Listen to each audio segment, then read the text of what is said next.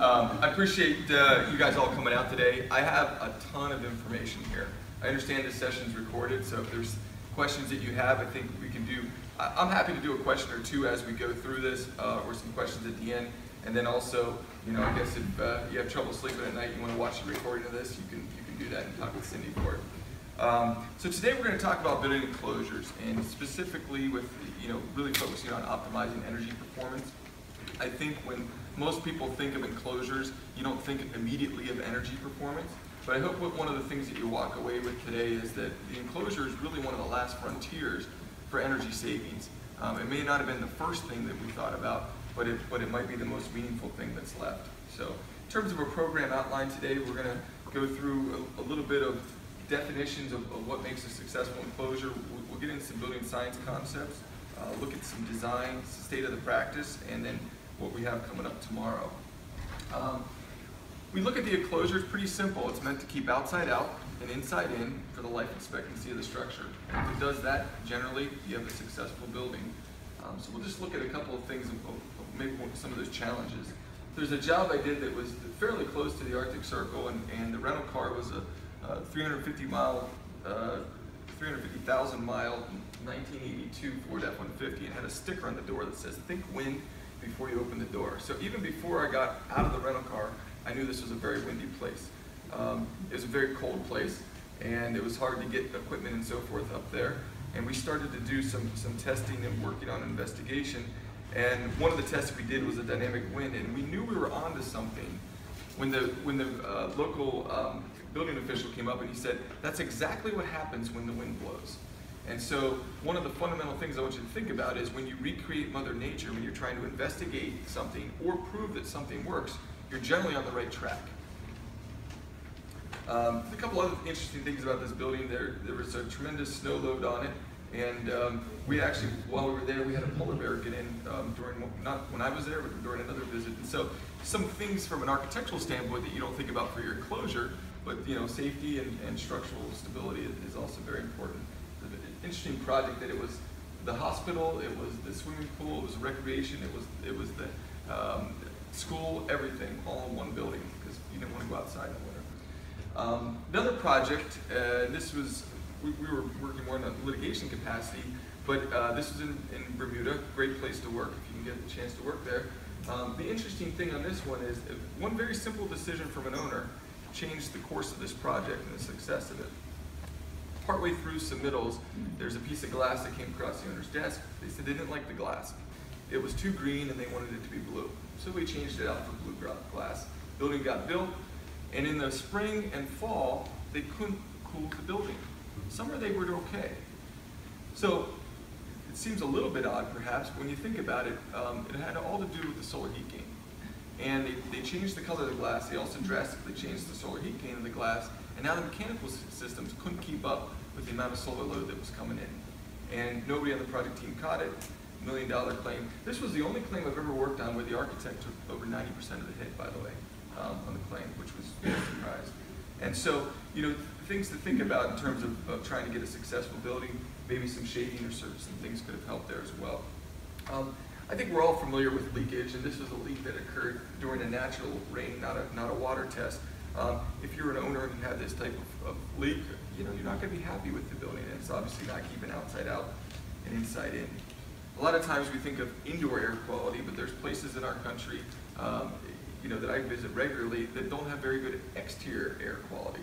And so a lot of times you want to make sure that that air is coming through the filtration system so that you can treat that. Um, and that's becoming a bigger part of our, uh, of our business and what makes a successful enclosure. Enclosure is not just what you can see um, in terms of the, the facade and the roof, it's also below grade. And so we spend a lot of time trying to figure out how to mitigate leaks that are coming in uh, below grade. Use things like dyes. That's not a nuclear spill, that's a dye to trace, trace leaks, by the way. And we see a ton of new products. I mean, we've seen new, more new products in the last five years than we've seen in the previous 20 combined. And some of them perform better than others. Um, we've all lived some of the history maybe with, with EIFS and sealing the finish coats and so forth. And we've seen um, challenges with trying to make sure that things can move as they're supposed to move from thermal changes. And uh, so there's a lot to think about when you're putting a facade together. You know, having a flashing is one thing, but having a functional flashing is sometimes something, you know, quite another. In this particular case, the architect didn't like to see the flashing, so they cut the edge of it off. When they did that, it didn't work anymore, so the water ran off the edge of the flashing and right back in the building. And so you, you have decisions that are being made for, for one objective that, that now affect another one. In this particular case, it was pretty simple. The, wrong drain got specified, so instead of a single stage drain, it was a dual stage drain. And what that means is there's drainage at two different levels. Well, when we had some ice build up and so forth in the winter, what we had is a roof that was draining into a drain that was draining back under the roof, into the insulation, whole roof has to come up. We see have a lot of on-site chemistry these days.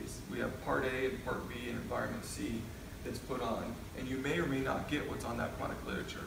Um, so, you know, cracking and crazing, bubbling and blistering of materials, uh, all are, are increasingly becoming more common.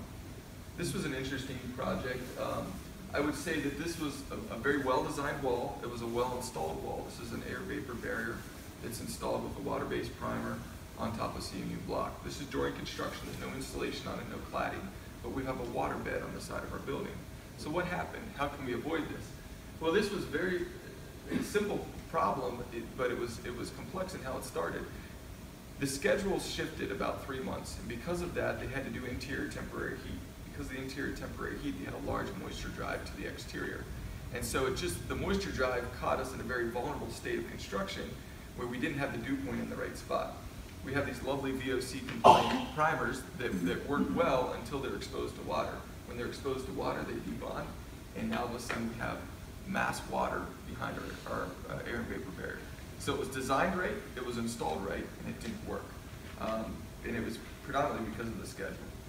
And some other things we have to think about too, when you, when you look at um, some of the conditions of the rain, I think we've done a decent job in the U.S. of trying to control acid rain. This is our building over in China, and if you look at the base of the building there, you can see there's a huge hole in the metal panel.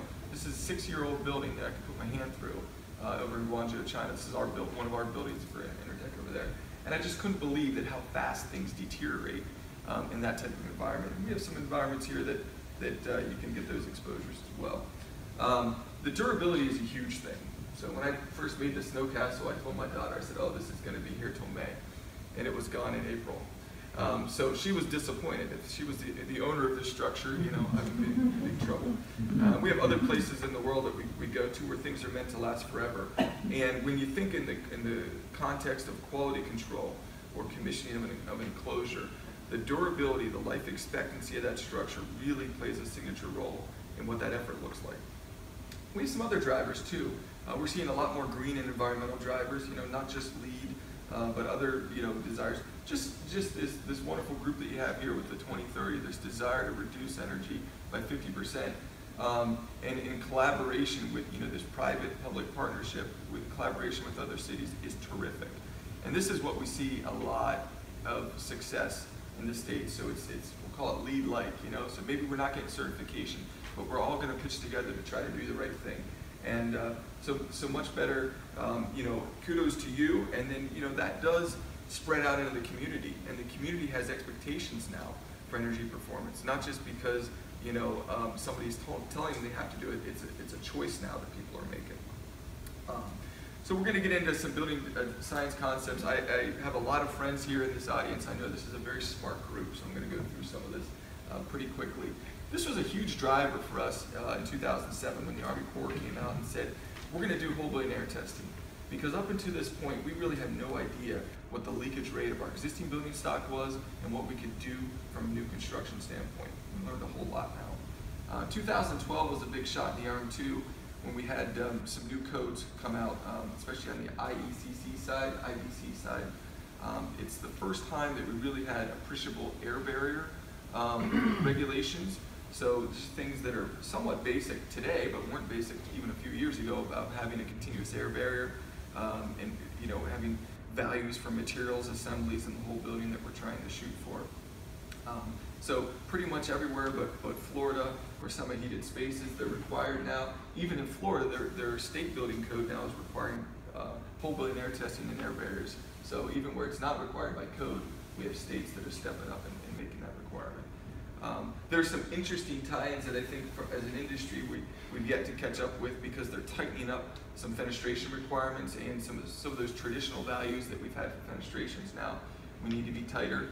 And I think the code tries to do a good job of, of giving you some assistance as to what is an air barrier, but there's some nuances here too. So if you look in code, it's going to tell you that all these things can be air barriers.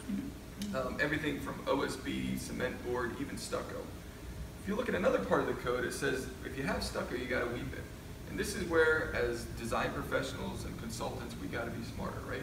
Because we don't weep our air barriers, and so we have to. We, we can't just blindly take what code's telling us and say, okay, it's going to work on this job. We got to think about it, apply a little common sense, and figure out uh, do we really have an effective air barrier or not. Um, vapor barriers are also included in the code. Um, so places like Cleveland, when we're climate zone five, um, we need to have a warm and winter side uh, vapor barrier, and so that is that's new. I think in a lot of these places we had that in general, but now it's it's certainly more regulated. Um, so when we look at keeping outside out and inside in, we're predominantly looking at four different things: at water, air, vapor, and thermal. We spent a lot of time talking about air today, but they're all four very important. If you go up to Canada, they've added a fifth thing, and that's acoustics.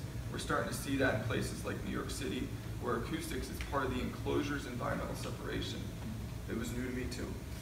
Um, when you look at the, the drivers and, and, ways that we that water can move around, you know, there, there's everything from kinetic energy, which is more wind-driven rain, to surface tension, um, and all these different forces kind of don't act independently in a vacuum. They're together, and we have to think about them. Um, so it can get pretty complex. When you look at um, uh, we, we hear a lot about permeability, right? And people are looking at their vapor strategy and really focusing on permeability. Well, this is a, a prime example as why you really need to focus on airflow.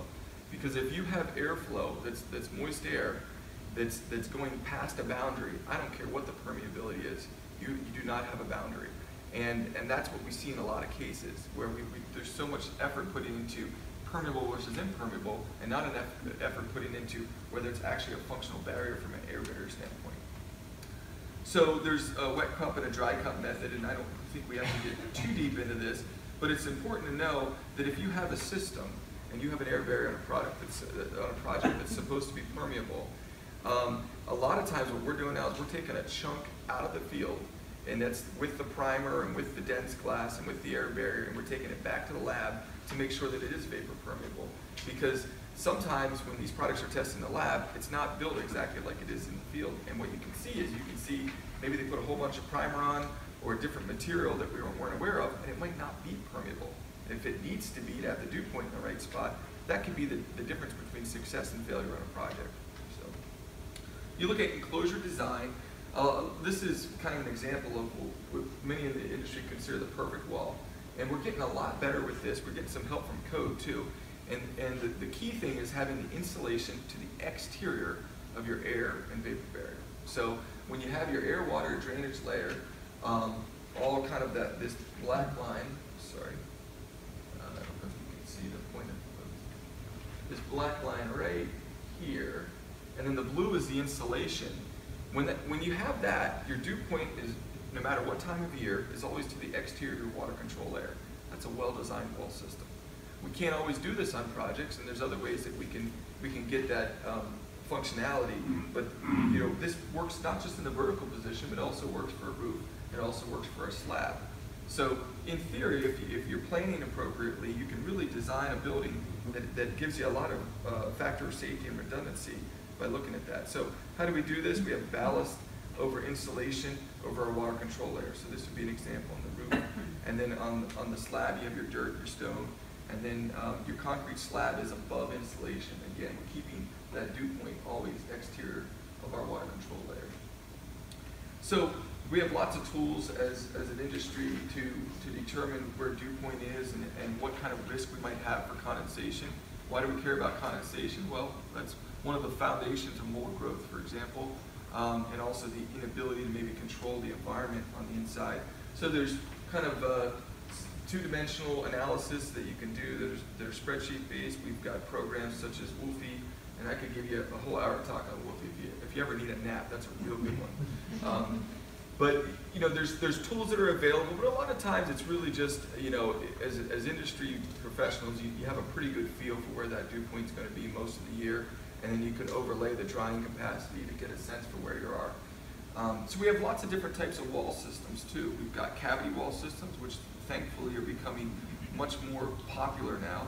Um, when you look at uh, the cavity wall systems or, or versus the barrier wall system, cavity wall system is going to allow water, some amount of water past that exterior plane.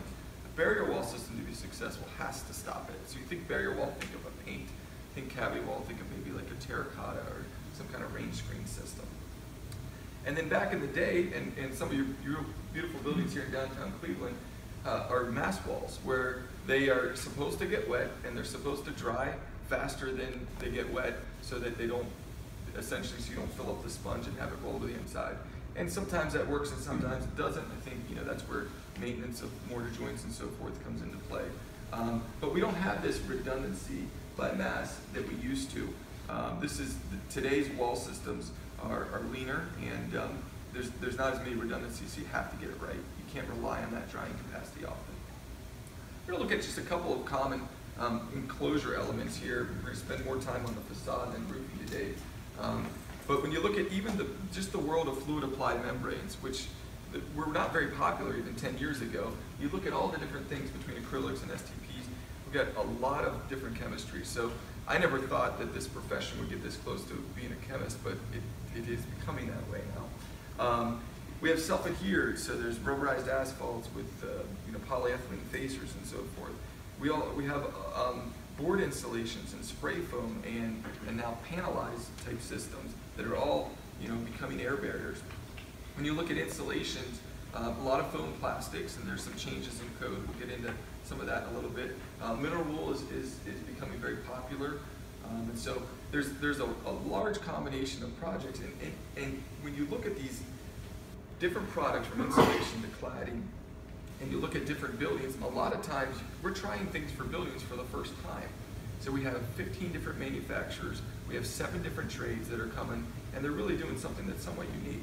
Um, you look at cladding, you see a lot of masonry still and precast and panelized systems. I think EIFS is making a comeback. There's still a lot of stucco. Um, so uh, this is an example of one of those rain screen systems, which is fairly complex. You have a have a dual axial girt system that you're hanging panels on with insulation in between, um, but very common uh, in today's construction. So we, we, like it because it's continuous installation. You know, code reinforces that. Got a dew point in the right spot. And there's um, all kinds of new inventions like thermally improved clips and uh, corrosion resistant steps that we've come. So we're going to spend more time now talking about uh, what, as an industry, is, is kind of the, the standard of practice from a, from a design side, and then also um, from a commission and consulting side, and a little bit of inspections. So we're seeing a change in, in design, and I think this has been evolving for probably you know the past 70 years, where um, architects are more and more reaching out to specialty consultants to do certain aspects of the design. So they have a, a larger team member. So you know we've seen the MEP and the structural and the civil site and the landscaping, and now in the fire protection. Now we're starting to get calls for doing you know air barrier work for architects and waterproofing, um, especially um, out in California. There was a whole bunch of litigation around um, water infiltration and mold and so forth. And so uh, contractors were having trouble getting bonded, architects were having trouble getting uh, insured, and so they will reach out to, to um, firms to actually do the design. So it's a WP set of drawings where we're actually doing waterproofing design. And this is new. I mean, this wasn't happening five years ago. Um, and so it's just, it's, it's another team member, it's a, it's a specialty um, type skill. And uh, you, you go up to the state of Washington where they now have whole plane air testing requirements and you don't get your certificate of occupancy unless you meet a certain threshold for whole plane air testing performance. And you have to show air barrier continuity on plans, and you have to have details for air barriers. And these are things that well, I didn't learn in engineering school, and I know they don't have time to teach in architectural school, and so you have these very focused, you know, professions that are now chipping in. So just a, a little background on some of the trends that we're seeing there. So we talk about design, you know, what makes a successful design? Uh, there is a there is a quality and a value to something simple. Um, this is a project that I worked on in the Middle East. Um, this is about as simple as it gets, right? it's so simple it doesn't even have weep holes. And you think, okay, well, maybe it doesn't rain over there. Well, it does rain, and the problem is when it rains, it rains all at one time. And they really want those weep holes at some point. Uh, redundancy is another quality that, that is, is very important for, um, for design. I think um, we do a fair amount of work with precast and so forth, and there's, a, I guess, a comfort level with precast because you have this mass, and okay, you know, we got 10 inches of precast, we're, we're in good shape here. But concrete generally cracks, and when you have cracks in concrete, you can have leakage. This isn't necessarily as much from an air leakage standpoint, um, but from a water leakage standpoint, um, a lot of times what we'll see is we'll come in and we'll put a, a, a vapor permeable air barrier in the inside of that to give a redundancy um, so that you don't have to rely on just the concrete that, that may or may not crack um, for your waterproofing. And then we always have to overlay constructability. If we already talked that we had 15 different products and seven different trades coming in here, um, who's responsible for constructability? Is it the last trade there? Um, when you walk out and you see a guy installing a unitized curtain wall panel with a 10 pound sledge, probably a constructability problem, right? So something, something didn't work out as, as intended. Um, so we're going to spend a little bit of time probably talking with uh, something that's really germane to this group in terms of energy usage here. And um, so I want to make sure that we, we, we put enough time on this topic today. We look at the enclosure and we overlay energy usage. There's three main factors. You got solar heat gain, U factor, and air leakage. And those are, those are the different performance categories or the, the, the places where the enclosure really participates. Um, you talk about you know, the energy usage index in, in terms of you know, energy usage per square foot. When, when we can control these things, and I'll say especially air leakage, um, we can see big changes in EUIs, um, and, and, we'll get into that in, in, a little bit here. Solar heat gain is a little bit obscure because you can't really see it. Um, you can feel it sometimes. We have uh, the gauge in the upper left there is a gauge that you can use to measure the solar heat gain of an existing window. So a lot of times we'll get involved in projects and the whole goal of the project is going to be we're going to change out the windows and we're going to save all this money in five years. Mm-hmm. And somebody has this magical computer program, they put all this stuff in and it spits out. It says five years and everyone says, yep, we're going to do it. And maybe you get it, maybe you don't. Maybe the payback is three years, maybe the payback is 15 years. And so I think what we want to be very careful of is that we have the right inputs. Uh, the programs are usually pretty good, but if we're putting bad data into it, we can't expect the, the outputs to be correct. And so understanding what the existing building solar heat gain is, what the existing um, you know, air leakage rate and U factor is, is hugely important to determine what that delta is with that new performance. So in the lower right there's a solar calorimeter, tracks the sun. That's what forms the product data sheet for your new construction. So if you're looking at a glass spec you're seeing solar heat gain, that's the type of information that, uh, that's the type of equipment that gets that information. You know, looking at, at ratios of window to wall, so and I think a, lot of our energy codes um, are, are, coming out with you know 30% maximum windows and so forth. And maybe there's some prescriptive means you can get around that. But certainly paying attention to the amount of glass that we have is important. You know, as architects and so forth, we have a lot of folks that, that have a desire to have a large amount of glass. And so we have to balance that with the functionality. Um, thermal discontinuities, you know, when you look at those reductions in ASHRAE 90.1, are they always enough?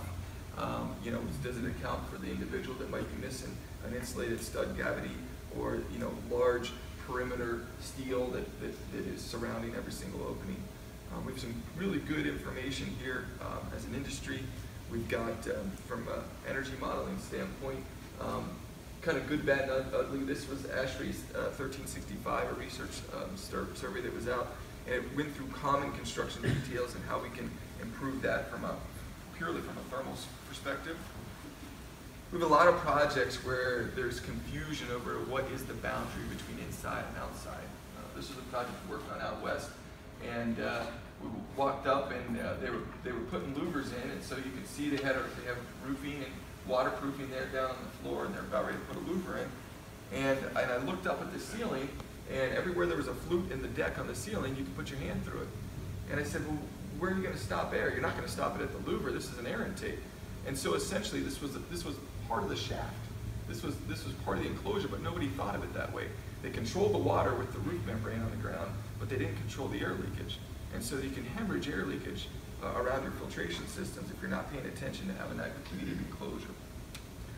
There's a lot of um, connections that we're now just starting to make between the mechanical world and the enclosure world. And keep in mind that the, our two worlds have have, have coexisted without knowing each other for centuries. And so now um, we're, we're, getting together and uh, we have to make sure that we're, we're speaking on the same language. So when we talk about air leakage, we talk about six sides of a box. Um, typically, when I'm speaking with mechanical folks, they're talking about air exchanges per hour or four sides of a box. We're, look, we're talking at 75 pascals. A lot of times they're talking uh, something much less than that in terms of building pressurization.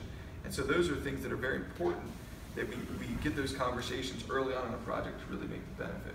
Um, here's a quick case study for you, a project worked on um, Colorado. Occupants were complaining that they were cold, difficulty in regulating temperature, horrible um, heating and cooling bills. Um, so we did blower door testing, and it wasn't bad. We got 0.4, I'm sorry, 0.5, which is just slightly above code minimum for air leakage. But one of the interesting things was it wasn't the amount of air leakage, it was the location. So it's a concept of the number within the number. And when, you, when we saw that, it, the, the leakage occurred at the locations that had the biggest impact on energy. So return air plenums and directly adjacent to where folks were sitting in terms of you know what the, that comfort that they were feeling. And so I think it was a good reminder that, that the testing is important, but you can't just take that test result and just say, okay, job done. Because in this particular case, maybe they would have done that um, if this was a new building and they were trying to get code minimums. Uh, but it wasn't job done. It was, it, it was you still have a dissatisfied owner. Um, Oak Ridge has done a bunch of terrific work um, with uh, energy leakage, and I think one of the, the takeaways from their study is, is that um, when, you, when you're putting a bunch of insulation into the exterior wall, and you have that same quarter inch hole that we've had for decades, the consequence of air leakage on the energy performance is much more now that we have the higher R value wall systems. Um, another takeaway is that our energy models are really not appropriately accounting for air leakage. Um, I can't tell you the number of times I've had jobs where I can say, okay, we can cut the air leakage in half on the energy model, and, that, and, and they come back and say, okay, we'll save 1% on energy cost. How's that possible? We have a door that's all the way open, a door that's halfway open, and it's 1%. It doesn't make sense, right? And so I think what we have to do is we have to, in some cases, trick the model into, into getting the, the right inputs so we can get the output that does make sense um, based on what we know it takes to condition air. Um, a couple other studies. This is this is a study between two different buildings, one with an air barrier, one that did not have an air barrier. And what you can see is this study was done by the uh, DFCM, which is the uh, Utah State government um, agency that, that runs all of their university work and governmental projects. Um, and the neat part about this is it included everything from the cost to install the air barrier, uh, commissioning costs and testing costs. And what it's showing is, you know, very quick rate of returns on um, investments. They're, they're, showing annual savings, and this was a study that was done over about 30 different buildings that had enclosure commissioning and air barriers done on it. And it was, it was showing a savings of 10 to 15% annual energy saving on the buildings that had the commissioning exercise and ones that didn't.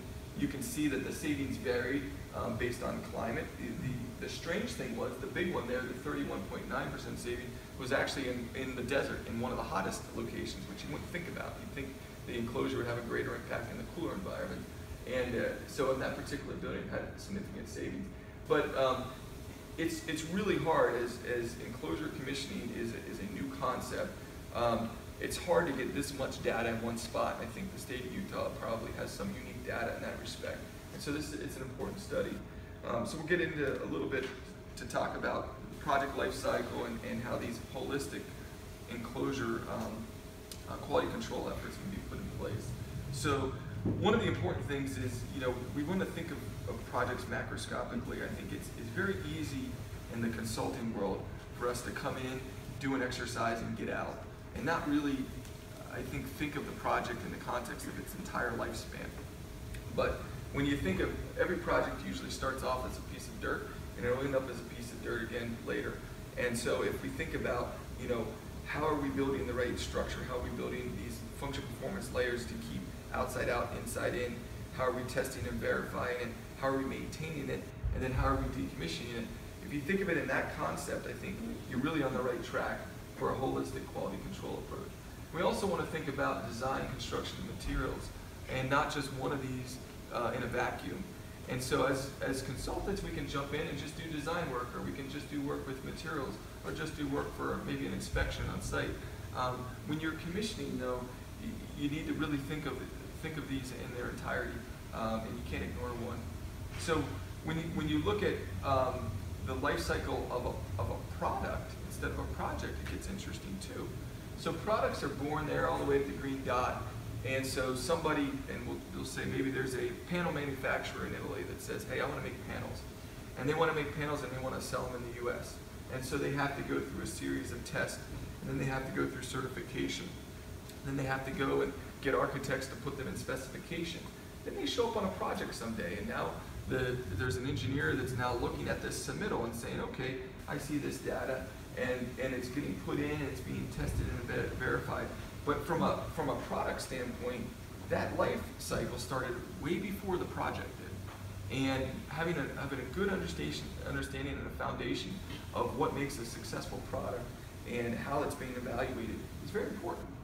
So we'll look at a couple of things that, that may be of interest, and I try to uh, I tried to pull some of the more entertaining ones out. I think uh, this is a uh, this is a video from uh, an arena blast test out in Texas, and so we have a we have a big wide open field, and we actually use live C4 explosives to torture windows and other building components um, for bomb bomb resistance. Uh, we learned a couple important lessons, and that is if there's low cloud cover, that you can actually blow out windows in a gas station three miles away, um, and some other things. But, uh, some uh, some other interesting testing, and uh, this you know hail is, exists just about everywhere, and, and so we have you know you, you certainly you might experience it with your car, but roofing and, and wall components, uh, most of them have some kind of hail impact, and so we actually have calibrated hail, so it's a certain size and a certain weight, and we'll shoot it. This is a very high-speed camera, so that hail is moving much faster than that, um, and you're, you're trying to gauge the impact resistance of these different building materials. One of the tests that's becoming uh, more prevalent, uh, especially in code, is NFPA 285. We talked a little bit before about thermoplastic installations and air barriers, and there are requirements now for this test for those products in code. Um, this, this test got a little entertaining because we actually almost burned our building down on this one. Um, it's uh, a, a, huge amount of, fuel load. You can see the fire coming out of the top here. Um, but it's, uh, you know, this is, this is new. So as enclosure experts, we didn't deal a lot with fire. And so we have to deal with things like acoustics and fire. And in the past, you know, five, ten years ago, that was not part of the vernacular that we need to have. Um, so we have our cat burglar here that's trying to break into a window for forced entry resistance. Uh, we've got a deglazing test. I'm just giving you snapshots of all these different types of tests that are done behind the scenes to form this product data sheet that, that you're looking at. Um, sorry, I want to This is a uh, this is our mob resistance, so unfortunately this might become more and more prevalent. This is a group of six individuals between the ages of 28 and 34 that are trying to put a backpack bomb through a fenestration in 15 minutes. They're using the 150 pound battery ram there. You've got your famous 48 inch bolt cutters, and uh, I, I am uh, bummed out that I'm too old to do this test because it looks like a lot of fun. Um, some other things that we have are, uh, you know, just structural testing. And uh, it can be everything. I mean, you think you, you think you think structural, you think of uh, you know typical load testing, but we also blow. This is about 130 mile per hour wind on a fence to see if the fence supports are accurate. There's more tensile, or I'm sorry, uh, flexural strength. This is seismic testing. So hopefully, if you test your windows, you don't have your glass do this. But um, yeah, so there's all kinds of uh, tests that go on behind the scenes to, to really form this product data, and I think it's important to know that, um, again, know a little bit about something about the test and the numbers um, when you're looking at those submittals. So when you look at, at, at, whole building commission, enclosure is just a small portion of this. You know, uh, certainly the MEP is a, is a dominant player and life safety and security, but uh, you know, today we're talking about enclosures. Um, one thing that is important to note is it's not just outside to out uh, to inside, it's also different interior environments. Do a lot of work with biosafety labs, do a lot of work with hospitals, do a lot of work with natatoriums and those types of things. You have different humidities, you have different pressures on the inside of the building. You typically need a barrier there to maintain those pressures. Uh, and we talked about this. We talked about that it's a whole lot more than, than air and water anymore in terms of, you know, potentially blast and certainly acoustics and fire and durability and so forth. Um, just to hit real quick on, um, how are we doing on time, by the way? Doing all right? Okay. Sorry, I know this is quick, but if uh, I, I want to get through this, and then if you have some focused questions, we can spend some, hopefully some more time on this. Um, there's a lot of deliverables for the commissioning process. This is a commissioning specification. Um, so it's a Division One specification. This is another Division One specification we write that deals specifically with the functional performance testing. Why do we want to write this in Division One? It's one real simple answer, and that is because we want to talk to whole building performance. Way too long we've said, okay, roofer, this is what you are required to do. Air barrier installer, this is what you're required to do. Glazer, this is what you're required to do. Do owners care about how the glass does or how the roof does? Only in the context of how they do with the adjacent components. So if we speak to the general contractor in Division One, we're now accomplishing that. We're bringing all these trades into this performance. And we're doing some creative things because you need to think about, before you write a, a test um, procedure, you have to know how things fail. So, you know, if we have a masonry tie that's in a fluid applied coating, and we know they're going to move the tie, and they might break it, we have to think, how are we going to test that in the field? If we're worried about getting glazing leaks or leaks onto the floor, how are we going to test that in the field? What's the best way to look at these intersections and, and different components coming together? You know, if we have certain materials that we're afraid of, maybe at roof-to-wall interfaces, you know, how do we evaluate that from a testing standpoint? And so when you do that, you, you, you put the test there, and then you have to think about the test. You got to understand the test. A lot of our tests that we do do not have pass-fail criteria within the ASTM standard. So if you say, hey, go do this test, and you do the test and it doesn't have pass-fail criteria, is the contractor going to respond to a poor test? Absolutely not. They're going to say, thanks, job done, good information, we're moving forward. And so you have to build that pass-fail criteria in. And we go through a couple examples of that in there. And again, we're looking at things macroscopically. So we want to say, how does the fenestration do in the context of the rough opening? How does that rough opening do in the context of the building? And so we look at it, you know, air, water, and in a lot of cases, we will get into thermal and acoustics and some other types too. Um, design reviews are really important. If you're waiting to, to do your enclosure commissioning until the design is mature, you've lost a huge opportunity. And in some cases, you've lost any ability to really economically positive change on the job. So you get in and we mark up specific details. You know, so we're looking for obviously continuity of materials. We're looking for when there's different boundary layers switch. So if your insulation layer switches with your water barrier, that's that's generally a problematic location. Um, and then uh, oftentimes more and more now, we have to really be the police of the different performance criteria. And I'll give you one, one kind of common example, but it's an example that we see on a day-to-day -day basis. So we have a, a, an owner that really wants optimal acoustical performance. And so we're trying to look at the glass and we, we say, okay, well the glass is a weakness in the system. So what we're gonna do is we're gonna have a big airspace between the two panes of glass because that's good for acoustics, right? But you have to remember, we also want energy performance on there. So if you put on your U-factor hat, you say, wait a minute, wait a minute.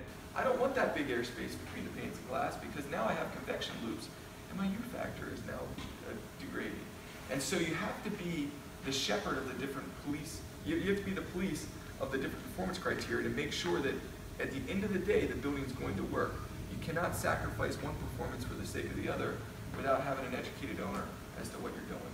And so that's, that's become the biggest challenge anymore is to, to make sure that all of these different performance uh, criteria work uh, in the context of the building. So it really becomes a performance matrix, if you will. Um, and I think it's important to think about, it's really easy to draw things, but sometimes we get to the field and we build them, um, it can be very challenging. So not just from a constructability standpoint, but um, you know, also when you look at um, you know, the, sequencing of trades, the, um, the amount of time, you know, so if we know that, that the schedule is going to run most of these jobs, we have to think about what are we really asking people to do and can it be done? Um, so I think a lot of times when, when, we, we're doing our drawing reviews, we're always thinking back to what is this in the field? What are the challenges in the field? And, and is this going to be successful? Roof-to-wall interfaces, we've seen a lot of progress from architects, thankfully, to, to now have continuity between roofs and walls. It seems simple, but you can't imagine how much air you can hemorrhage between these two if you don't have continuity. But it gets tough because we have a lot of products that don't want to touch each other from a chemistry standpoint. We have dimensional challenges.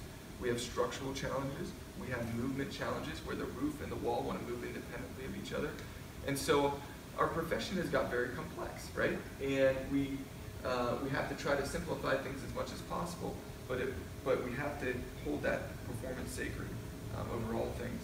So there's certain looks that are, that are becoming common. So a lot of times you want fenestrations to form the parapet, and that's fine. But it's really hard when you have a piece of, uh, when you have a system that has a defined inside and outside that shoots past and has now the inside becoming outside. And so, you know, from a thermal break, from a waterproofing, from an air perspective, if you're not putting maybe creative breaks and so forth into that, um, it can get very challenging. We see a lot of challenges with soffits. Uh, we didn't care about soffits for, for a century in terms of air leakage because we didn't care about air leakage. All it was is keep the water out. We didn't have a lot of rain hitting the soffit, so soffits were open and vented.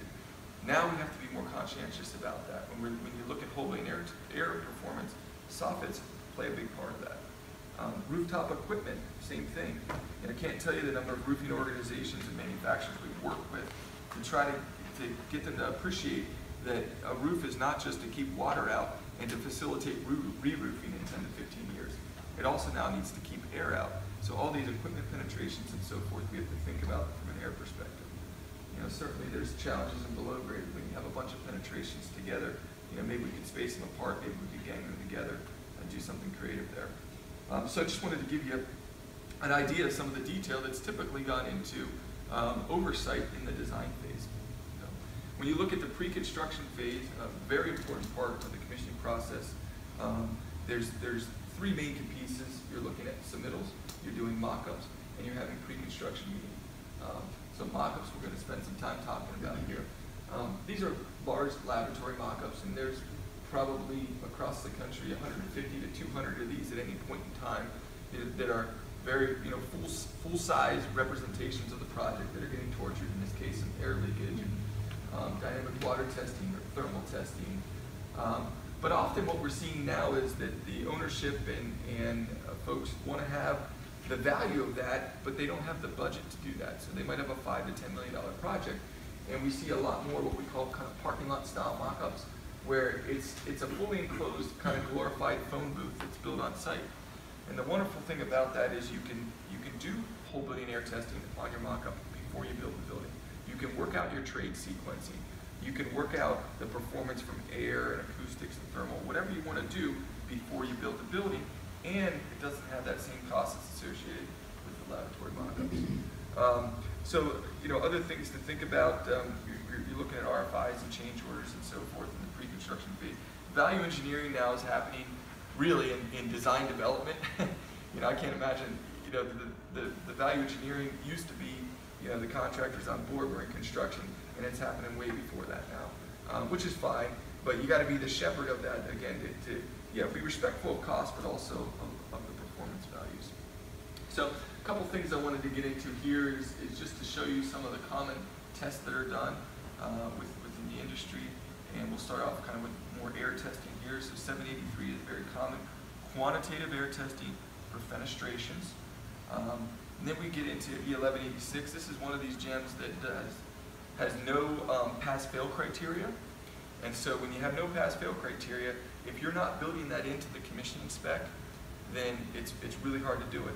And to complicate it, there's seven different ways you can complete this test. So you can't just say, hey, go out and run an E1186.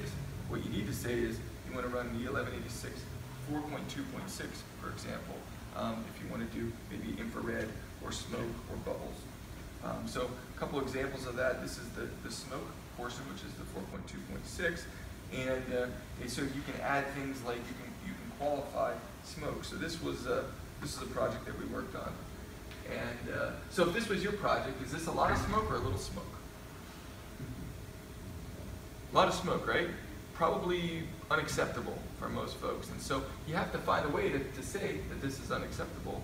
Um, and so there's, there's ways that you can do that in terms of classifying the, the, uh, the distance of it. And then you can also calibrate uh, with some quantitative testing your qualitative test as well. So there's some tricks there. Uh, another, the 4.2.7, so bubbles. Um, if you if you have, uh, it, it, works very well for both roofs and for wall systems. Um, if you're about ready to put 150 masonry ties on, isn't it nice to know that the first 10 ties are sealed before you go and, and blow holes in your air barrier? Mm -hmm. So you put a sudsy solution on, you have a vacuum that comes down over top, you pull a vacuum on it, and if you have bubbles, you have air leakage. And it's, it's a very quick and dirty test. You do it in about 30 seconds, And what a, what a nice piece of information to have before you, you go and make that investment to build the rest of the building. Um, whole building air testing has become increasingly um, popular. Um, I think the um, what what this test has given us from an industry standpoint has been tremendous, and this has been all in the last five years, really. Um, so my estimate is we're, we're, certainly over a thousand buildings now in the U.S. that have been tested to this. Uh, UK led it off. There's quite a bit in Canada that have done it. Um, so uh, I got there's a lot of smart people in the room here, and I'll, I'll, I'll try not to pick on anyone else. I don't get an answer here, but uh, so code says that a, a, a, an acceptable building is 0.4 CFM per square foot. So 0.4 CFM per square foot of enclosure of leakage, and that's at 1.57 PSF. So that's code minimum. What's, what's achievable out there? If 0.4 is code minimum, what's achievable? Am I gonna have to call somebody? It's, it's less than that, right? We can do better than code in general. Um, I would say typically 0.1, and there's there's some factors, but you can you can do four times better than code on it. So what's what's the value of that? Well, you, you obviously have value when you can when you can save um, annual energy costs. But what about right sizing of equipment? I'm an engineer, and, and believe me, I understand factors of safety. And if I was a mechanical engineer, I wouldn't like what I'm about to say right now. But the reality is, the, the more we cut into that factor of safety, the, the more efficient system we have. And so this is where we have to have the collaboration of professions, where we have to take the ownership to get to the point one and to verify that we've got to the point one. And then on the flip side, the mechanical engineer has to say, I'm going to design to the point one. I'm not going to design to the point eight or the one or point zero that maybe allows me to sleep better, but doesn't give that optimal performance. If we want to make that appreciable difference, if we want to get to 50% energy savings by 2030, these are the type of things that we got to start doing. Where we got to we got to start challenging ourselves to get outside of our comfort zone. And uh, and this is this is one of the, the few ways that we have remaining to make really big impacts. So um, if there's not much that you take away from this talk, I hope that's one of the things you do. That, that we can do better at right sizing our equipment based on challenging ourselves and taking ownership, that includes us, to make sure that we're delivering the most efficient building that we can. To not just get those annual savings, but to get that upfront savings as well. Um, a couple other tests that are common, switching from air to water now. We look at uh, the E1105, very common test. It's just a spray rack on the outside, you put a chamber on the inside, and you're drawing a constant vacuum. Um, more and more, especially on the commissioning front, we're getting into dynamic testing, which is spraying water on the outside. Um, this is as close to a nor'easter as we can get as an industry.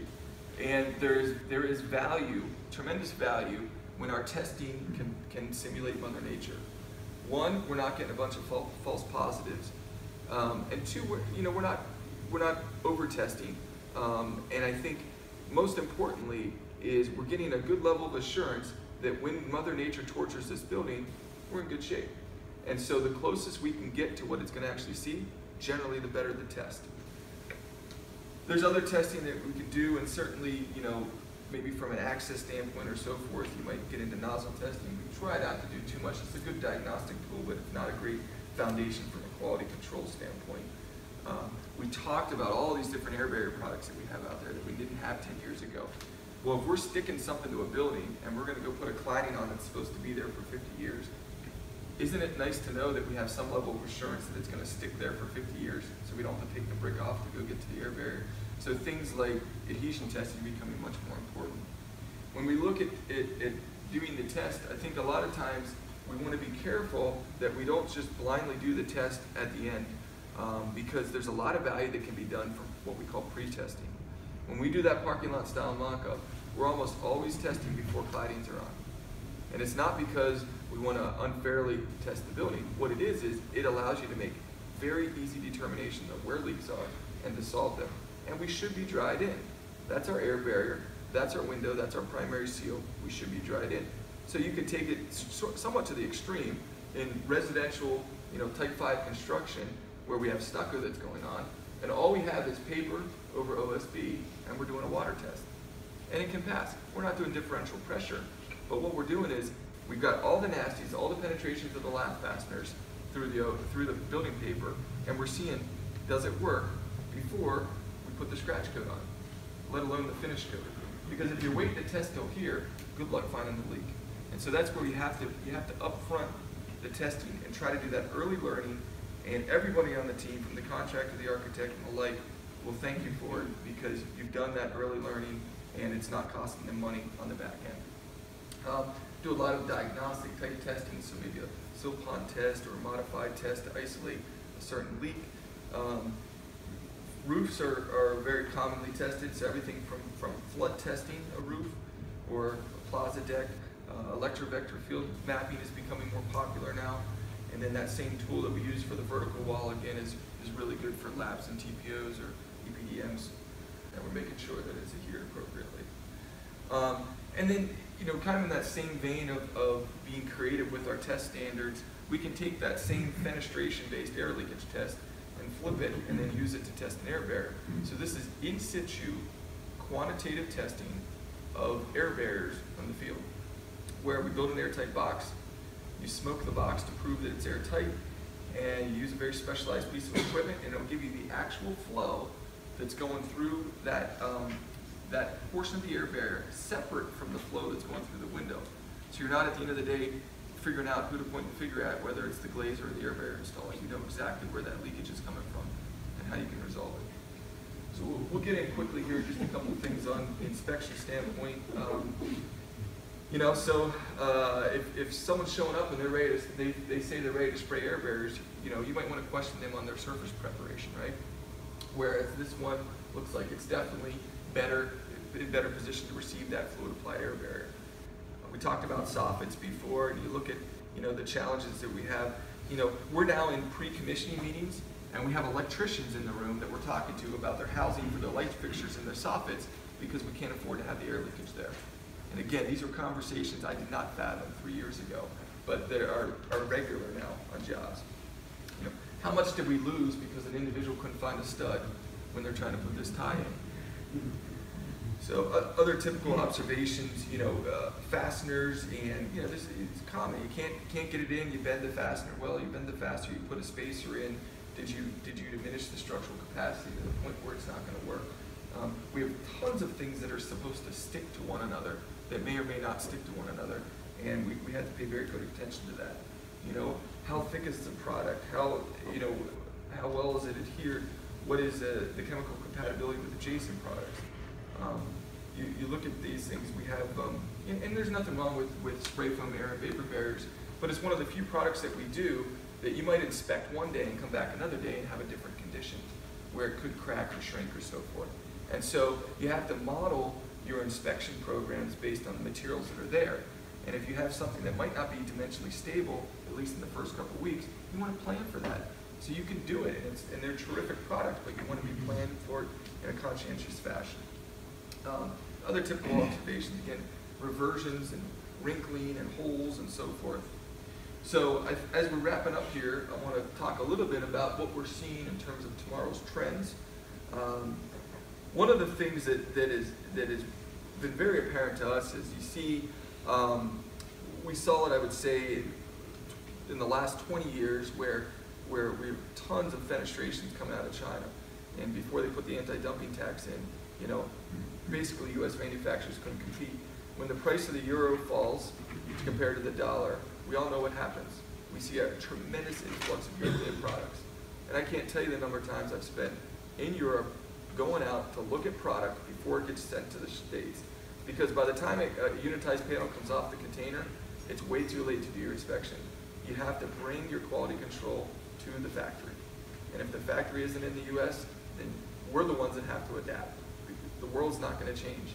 When, when, when it's cheaper and there's perceived value coming from other locations, then our quality control is what needs to adapt. Not just from an inspection standpoint, from a testing standpoint. So we got to take the test lab out of the lab and go take it into the field or take it into the plant. And that's, that is a, a, a non-reversible trend at this point as far as I'm concerned. And so, you know, spending places in Thailand and Mexico where there's cheap labor is becoming the norm instead of the, you know, uh, what used to be an anomaly. Um, seeing different materials, and this isn't necessarily new, but you know, we, it's not just sealants that we're using to interface um, components. We all know that, that the, the, common leak locations are, are, typically at system transitions, terminations, penetration. So when you have a window that's next to an opaque wall, you know, using materials like silicone sheets are generally a good idea because now you have some dimensional flexibility, you have a little bit more uh, gap that you can have. You can push the window out or push it in a little bit and not necessarily destroy your seal. Um, but you have to have window manufacturers that are participating in that. We're starting to get that now. But we're seeing new technologies come out almost on a daily basis. Uh, this is just one example of that. Just a couple case studies as we wrap up here. Um, the other trend that we're seeing is that um, enclosure commissioning and enclosure quality control, um, for especially on the energy side, is now becoming very popular in existing buildings. I think in the past, the, the thought was the rate of return is ridiculous. We can't, we're not even touching the enclosure. We're gonna change some light bulbs. We're gonna work on our plug loads and move forward.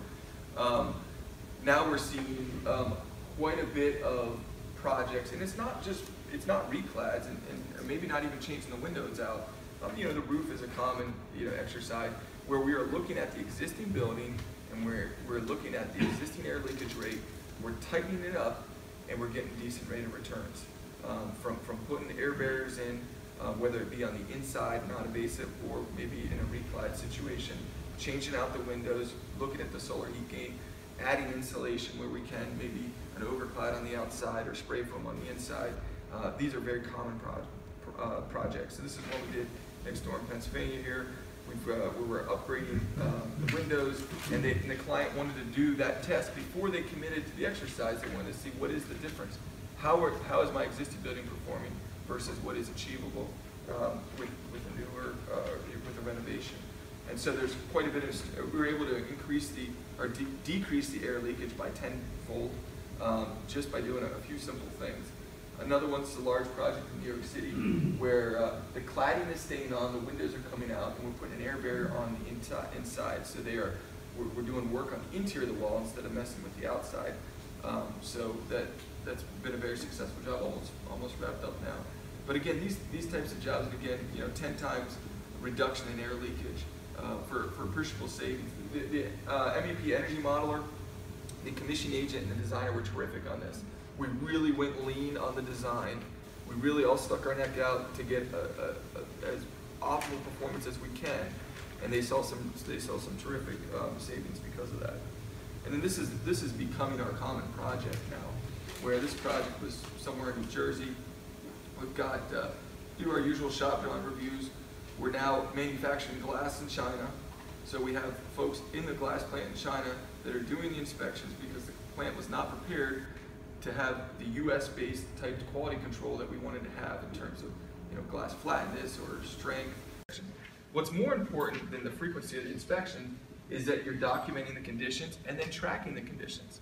There's a lot of projects where you have zero punch list, and it takes a collaborative effort between the contractor and the architect to get there if you're not going to be there every day, which we're not.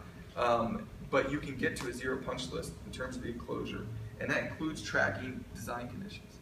So I think this is probably the uh, last case study. So this is some, another one where we're, we're over in Italy, and you know, it's just, it, it, we went through all the testing. Um, so it, they do the testing over there a little different. And at the end of the day, they, they pulled the they pulled the specimen off the wall, and we looked and they said, "Where's the weep holes?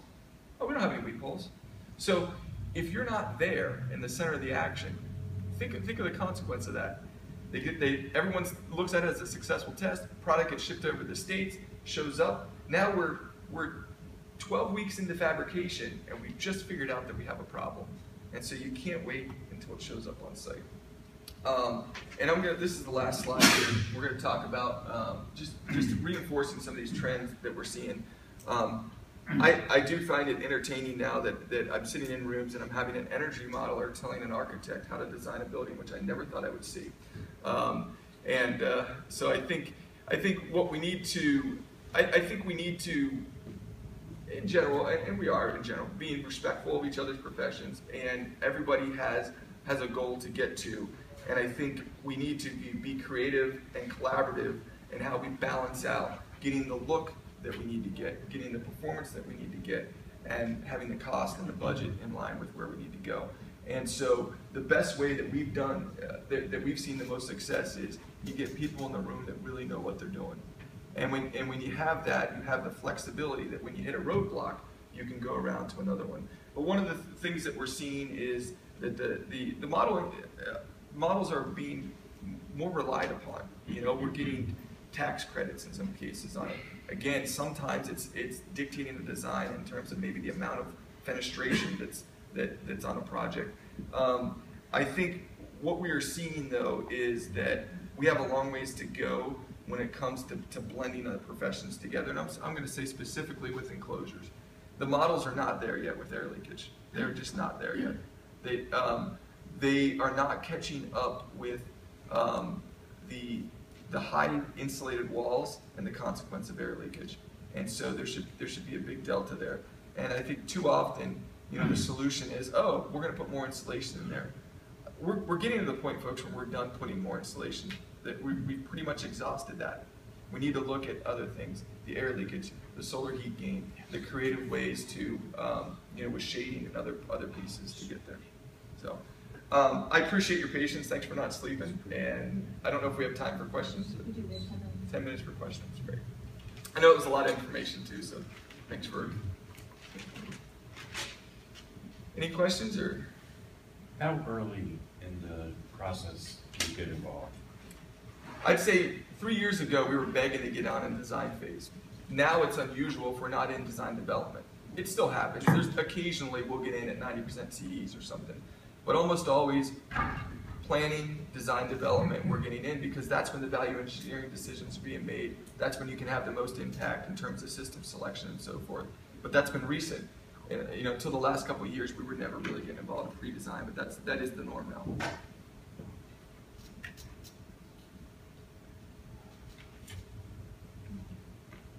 Seems like in your third case study with New Jersey, that there was a lot of expense bringing in materials from overseas.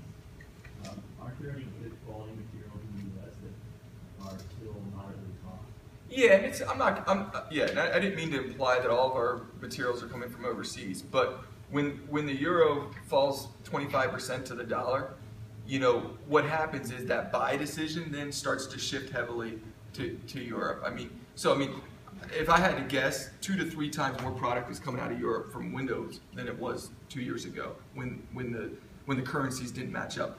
Um, so it's not it's not really it, it's it's not a function of, of quality as much as it is is um, I, there's a lot of owners and a lot of architects that have uh, there, there's this this intangible value that when it comes when it has this Italian style or German engineering that it just has something there, right? And so maybe they can sell more properties or maybe they can they can get some extra value from that when the dollars are equal. Um, we have tremendous products in the U.S.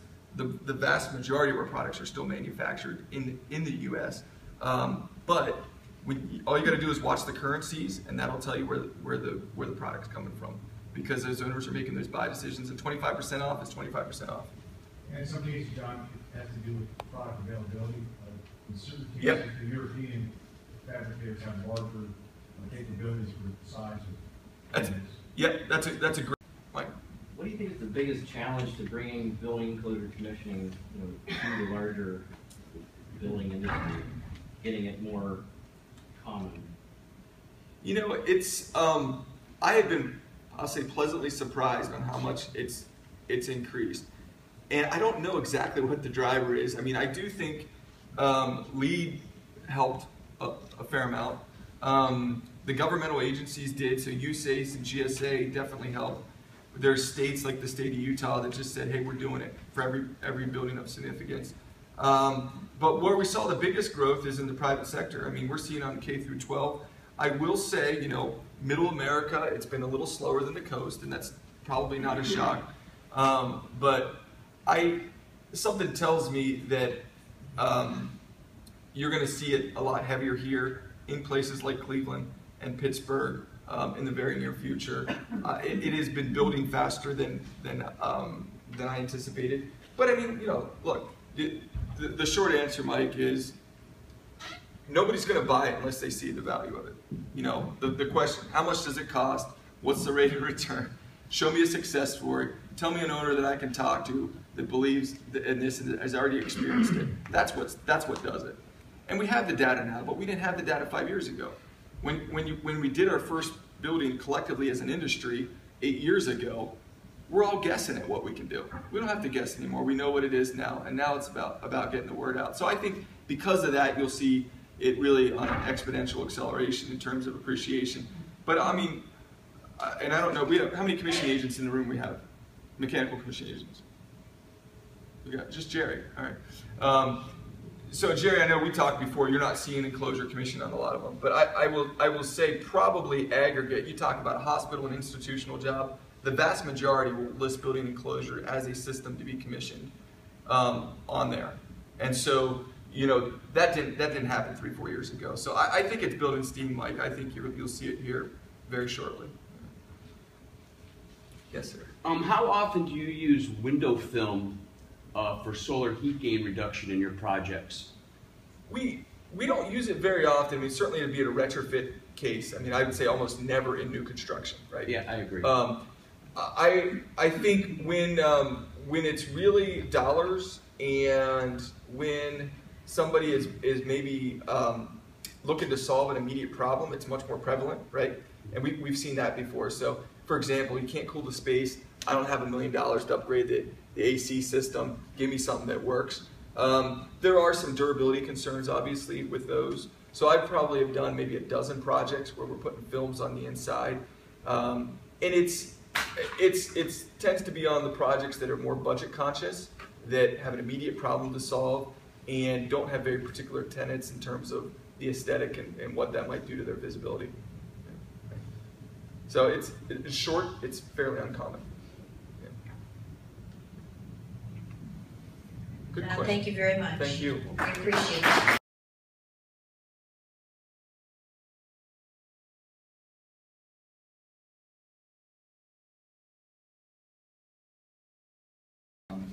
What we do though at PPG is just the glass.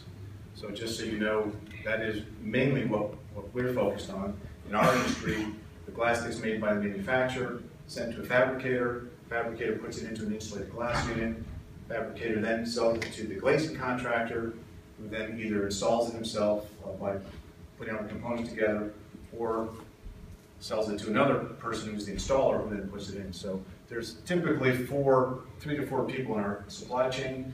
Uh, we're farther back into the, on the manufacturing side, and we are the ones that uh, provide the actual product that goes into the finished fenestration. So when we say fenestration, um, we're speaking about the entire um, window unit, or door, or uh, skylight. So today we just want to talk a little bit about um, what are the attributes to consider, um, some of the other elements that um, we need to look at in terms of window decisions, uh, a little bit about NFRC, the National Fenestration Rating Council, as well as um, some other energy performance, which, like John mentioned, quite a few of them, we'll go into in some more detail, and then strategies for increasing your energy performance in existing buildings. Um, This, of course, is one of the uh, key things on the initial design, but there's also a little bit about what the uh, existing building might look like as well.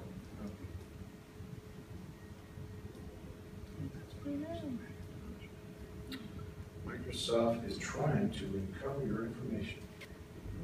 Well, That is not a good thing. Better go up and help me. What's the interesting one? So fenestrations are, include doors, windows, uh, any opening in the building uh, to allow either light or um, egress or entrance.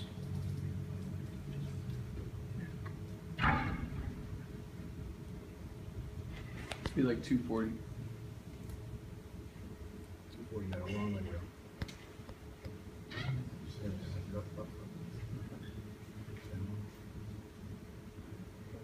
Yeah, it's up. up. Sorry, it's it's more like two hundred.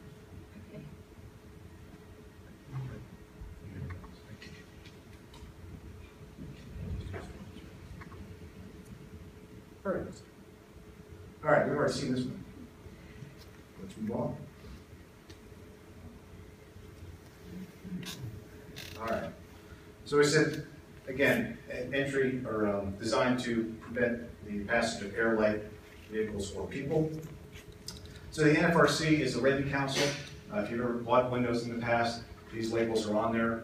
Um, there are certain required information that the fenestration manufacturer needs to put on there to satisfy the requirements for NFRC, uh, which are typically uh, the solar heat gain, um,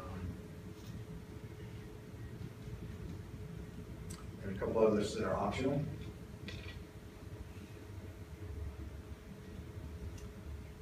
Visible light are the two required ones, and the air leakage and condensation resistance are typical, um, but not always required. So in addition to that, there are many other factors that you really need to consider when you're looking at windows and window performance. Uh, and we'll go into these individually. John's already done a great job of really detailing a lot of what can go wrong, uh, how to test for making sure it goes right. We're just going to kind of review them very quickly here, um, just as, as a point of reference. Um, but as always, product costs and warranties are an issue for any major purchase. And the warranties are always provided by the manufacturer of the actual fenestration. So um, for us as glass manufacturers, we may warranty the glass uh, that goes into the unit, but the warranty is actually coming from the end uh, producer of the fenestration. Most of us that use certified fabricators um, then get the opportunity to pass our warranty on to the owner. But you have to be a little careful about that because warranties can be voided if they're not um, properly administered. All right, so water infiltration, we all know we don't want water in our buildings. Uh, so this particular um, rating is designed to test that, and we've already seen some of the test methods. Uh, again, the higher the rating, the better it is at reducing the amount of water that can get in. Structural performance, um, lots of things go into structural performance, but the biggest one is wind load. So when you're looking at the wind load ratings for glass, this relates to whether you're going to temper or heat strengthen glass. Uh, those two processes are a post-production um, process by the fabricator that strengthens the glass either two times or four times stronger, uh, depending upon what your wind load resistance needs to be. There's also thermal stress resistance uh, that gets improved by the uh, tempering or heat strengthening process. And this uh, is something that you want to verify by way of calculators, and most manufacturers and fabricators have those for you. Uh, you enter your information into the um, calculators, and it will tell you whether or not your glass base of the size and, and dimension needs to be either thermally uh, stress um, prevention or wind load um, prevention. Acoustics, we talked about acoustics before. Um, there are many strategies for doing this. Um, John mentioned the fact that you, know, you can increase the airspace, but a little bit later when we talk about U factor, we'll realize that there's an optimal uh, size for that cavity. So we want to be careful not to exceed that optimal cavity. But some of the other strategies are to use laminates uh, to differ uh, the size or thickness of the glass between the inside and the outside pane, as well as some other um, opportunities to improve acoustic performance. Security, there's a whole um, you know, bevy of things that we need to consider when we talk about uh, security, whether it's blast resistance, uh, if you're doing anything with the government, now we're working with blast resistance, different classes of blast resistant A, B, and C. You got burglar resistance, fire resistant glass, um, all the different elements, but in most cases, this is going to involve some type of laminate or interlayer that goes in between the glass to help uh, increase the structural performance. Uh, and certainly anytime you're looking at uh, overhead lighting or any kind of slope glazing, you're almost always going to be using some, some type of laminate. Condensation resistance, um, another test that we want to be sure that uh, we verify certain types of high humidity type environments like hospitals or where the humidity is controlled uh, to a much higher level. You want to be a little bit careful with condensation resistance. And U factor. Um, this is a very big one as it relates to the energy side of our glass. And we're going to talk about this a bit more when we talk about uh, glass performance. Um, but here we're looking at the opportunity to improve the amount of heat loss out of your building. We all know we have some pretty cold winters here uh, in Cleveland. There's a lot of heat that we pay for. We certainly don't want it going out through the glass. Um, Solar heat, I'm sorry, U factors of anywhere from 0.5 to 1.20 uh, are not uncommon, but getting down to 0.15 is a really, really, really low U factor. Typical U factors for dual pane glass is about 0.29. Um, so let's do easy math for a second and call it 0.3. Okay? If you want to relate this to R, or, or the R factor, which is what we rate with insulation, um, an R, or excuse me, a U factor of 0.3 would be about an R of 3.3. That doesn't sound very good, right? Well, we all know glass is not going to be your energy saver, but anything we can do to increase that, if we can get that U factor down to 0.2, then we've moved our U factor to R5. And that's a significant difference. So how can we get there? And we'll look at that in a second. But you definitely want to look at this U factor as an important consideration in your design criteria. And then solar heat coefficient, this is the big one. Um, if you really look at where your energy um, is being used in a building, um, it's going to be cooling. Even in Cleveland, where we have what we, consider to be uh, strong winters, you're pretty much running your air in most commercial buildings anywhere from uh, February, March to all the way through November, December. So if we can keep that and manage that energy coming into the building, then we can have much less of a load that we need to manage as well as the costs involved with that. So we'll talk a little bit more on solar heating, but this is another one of the um, requirements. Now we do say northern climates where we may want to use glass that allows energy to come in to get free energy in the winter, uh, but you have to be pretty fairly north to, to, uh, to do that. We're in zone five here. Um, we're not considered a cooling zone, but by the same token, uh, again, commercial buildings with the heat, the light, the buildings, the mechanical systems, we generate a lot of heat in the building as well as the energy streaming into the glass. And depending upon the type of glass, number, um, percentage you're building and so forth. And then visible light is something we want to um, always maximize when possible. Uh, we know that this has a relationship to productivity. Uh, those of you that sit by the windows are supposed to be more productive than those that don't. Um, so look around your office, you know who they are. Um, it may not be true. But we also have, you know, productivity in schools, uh, better test scores, uh, health-related benefits. So visible light, for the most part, is, is a desirable trait. Um, there may be some isolated instances where you might want to limit the amount of visible light um, for a particular reason, but for the most part, we're always looking as glass manufacturers to reduce the amount of solar heat gain and increase the amount of visible light and give you as much uh, of that balance as we can. And we'll talk about that later, we'll talk about glass. And Jeff spent a lot of time on air leakage, and um, you know, this is just intuitive, but the air leakage is not something that we can work with in the glass. It's the fenestration, it's the framing, it's the sealants, it's the design. Um, so you have a key role in preventing this in your design criteria, and there's many ways we've seen where they don't uh, work properly.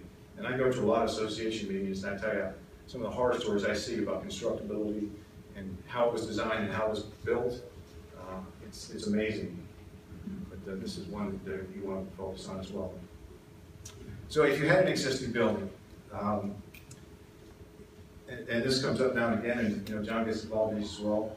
Um, the number one best, um, not necessarily payback, but most effective thing, of course, would be to remove and replace all the existing windows. You have a single pane um, window unit, you're, you're, losing a lot of energy, you have no thermal break. Um, the outside and the inside are basically the same temperature. Uh, the glass, uh, completely remove and replace it um, is one. Or you can replace just the glass unit and leave the framing um, and, and just replace the sealants. Another strategy, there's a couple companies out there doing this right now, where they're taking single pane glass on commercial building. If you've got enough framework on the inside, you can actually take an insulated glass unit and place it inside of the space of the existing single pane, seal around it, and now improve the efficiency of that whole building without disturbing the, the framing or anything. It's a very, very simple uh, procedure from the application standpoint. It doesn't disrupt anything on the outside and does uh, provide all the benefits of an insulated glass unit, um, which should almost be considered triple pane, although it isn't because the, the inside one is not technically sealed. But that's on the strategy. Um, I did want to mention films, but it already came up. Um, you know, films do a great job at reducing energy, but whenever you put a film on glass, what you're actually doing is absorbing energy into the film, which then translates that energy to the glass. If your glass was not heat strengthened or cannot withstand the thermal stress of that heat, you can actually get spontaneous, spontaneous breakage. So be a little careful about that. Uh, and any existing building that's still under warranty by the manufacturer would be voided if you put film on your, your glass. So that's just not me as the glass guy talking, I'm just telling you, that's the reality of it, is, is you might void your warranty. So that's a quick little dive into just some of the fenestration basics. Um, any questions on those before we kind of get into the real meat of the low E? John? Just one question. Is, is triple pane coming? Triple pane is already um, a reality. It's a strategy that involves improving U factor. It improves um, acoustics. Um, unfortunately, also increases weight and framing size and requirements. It is another piece of glass. Um, although in some cases that middle one may not be glass, it may actually be a, a film that's stretched taut. Uh, but it just, again, to give you enough, uh, two air chambers to slow that energy from coming out. Um, it's an expensive option. Um, if we're trying to improve U factor alone, I can show you what to get there with dual pane in a second. Um, if you're doing it for acoustic performance, you can probably get there easier with using a laminate um, with, with on one of your panes, changing the thickness of the two glasses, as well as keeping that airspace optimized. Um, but it is a strategy, and it would be more for northern climates. There would be no benefit to it in southern climates. Um, when we try to stop solar heat gain, we're stopping it with low E coatings. We're not doing it with air. We're, we're really giving uh, all the benefit to the low E coating when it relates to energy coming in. Energy leaving then would be a benefit for U factor or triple pane. Anything else? Yes, What's the average commercial glass warranty? Average commercial glass warranty? well, How- I like- speak for every Yeah, manufacturer. just- For most manufacturers, it's ten years. Ten years? But if you put a particular warranty requirement in your specification, then you'll adjust the cost and price of that glass accordingly. Yep. Uh, but typically it's ten years down. Again, that's the glass manufacturer warranting the glass, who passes it on to the fabricator who builds the unit, who then has to pass it on to the glazing contractor, and then passes it on to the owner. If it doesn't pass all the way through, the owner's not gonna get the benefit of the glass manufacturer's tenure. So you wanna separate your warranty language to include both the glass as, as a manufactured unit, part of the unit, and the framing and fenestration itself. Thanks. All right, so more important to all of what we want to talk about today is the uh, performance of the glass and the low E coating. So any of, any of you that ever talked to a glass guy, you're going to see this chart. Uh, so this is the uh, chart that shows the spectrum of energy at the Earth. So on the far left side is the UV range, uh, then comes the visible range, and then the infrared. And the infrared is somewhat broken into the short wave, um, and then over to the right, the long wave. And what we would do in the glass industry is look at this and say, if I were to make ideal glass, how would I do it? Well, I would have almost no UV. I would immediately go as high as I could in the visible, and then completely come straight down on the uh, infrared scale to reduce the amount of energy coming in. Okay, so keep that ideal glass in mind. Um, and remember, with the word ideal, we obviously know that we're not going to achieve that, but we'll see how close we can get. All right, so what's the goal? So the goal is to take all these energy uh, sources and um, manage them. So the, on the infrared scale, the shortwave infrared, we want to keep as much of that out. We want to reflect it back out and not let it come in. So if you look down at the bottom, you'll see that there's a low E coating uh, expanding.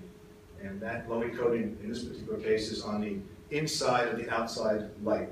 We would call that surface number two. Okay? So we're managing that solar energy not coming into the glass. Uh, we would want as much visible light as we can. Remember, we that ideal glass wants as much visible.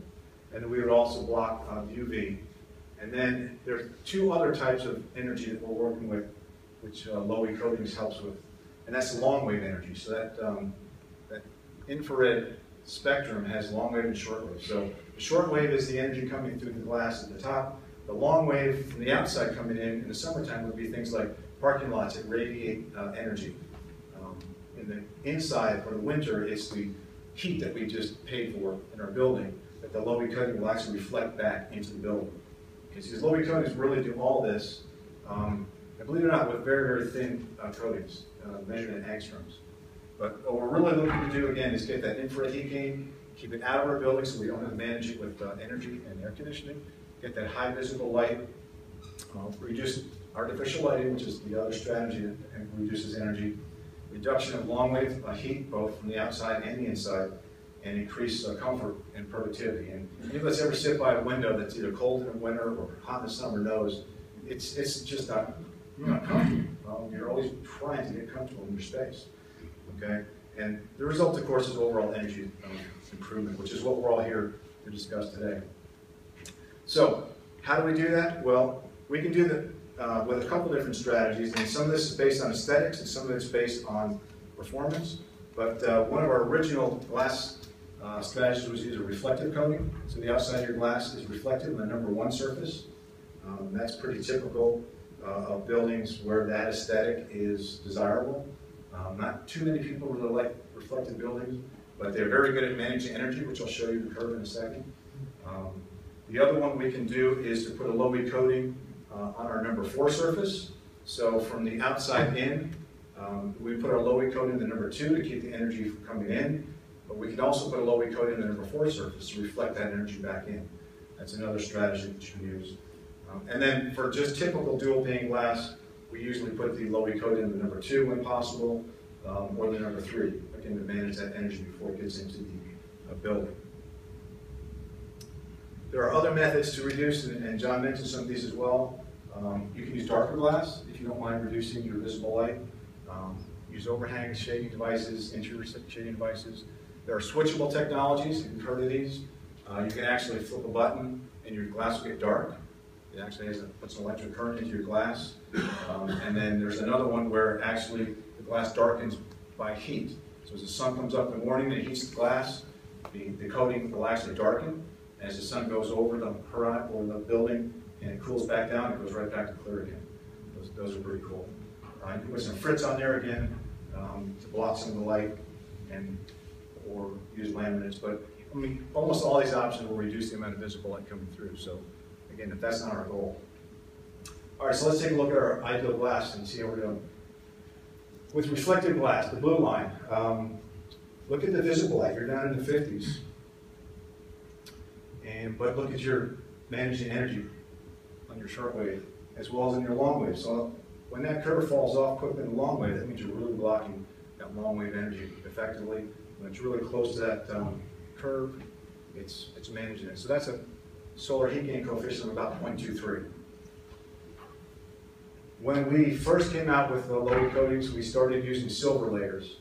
And originally we started with one layer. Now we're um, putting two layers on there.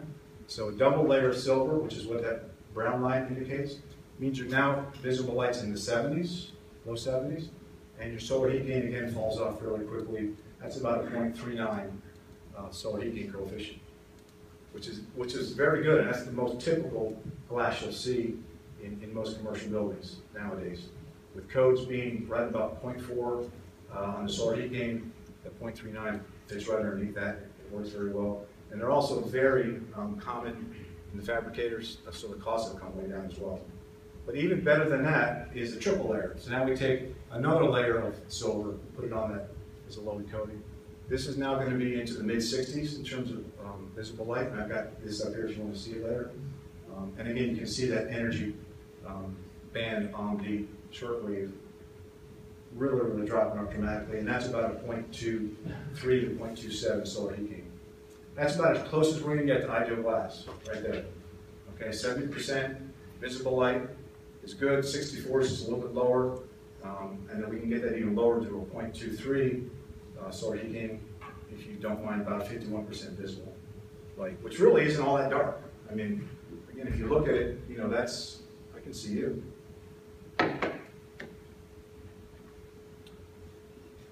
All right, so we talked about uh, U values. This is the one where we're blocking heat loss from inside to the outside.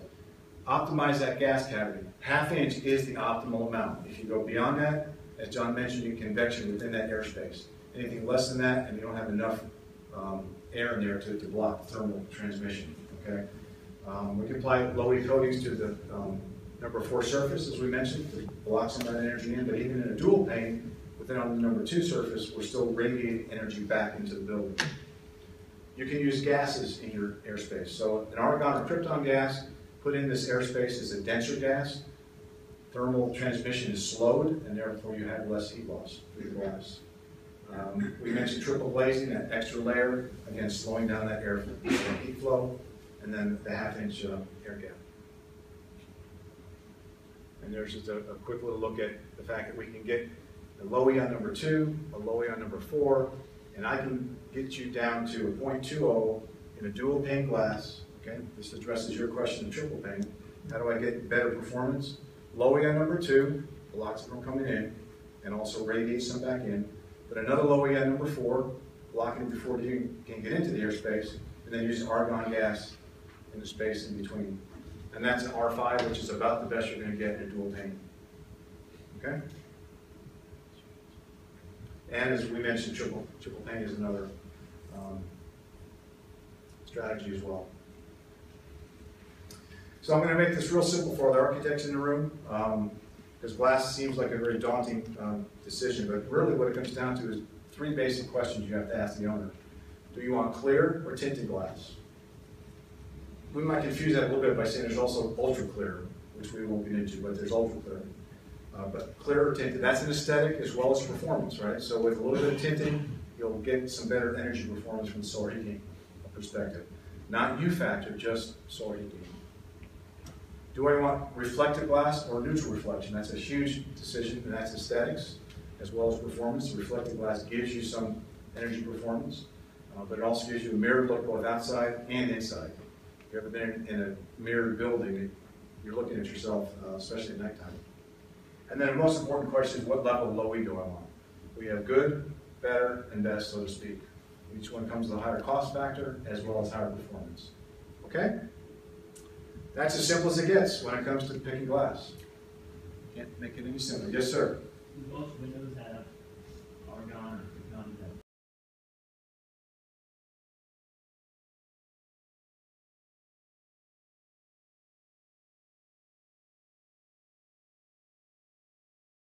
minutes to give you an overview on this roof replacement project.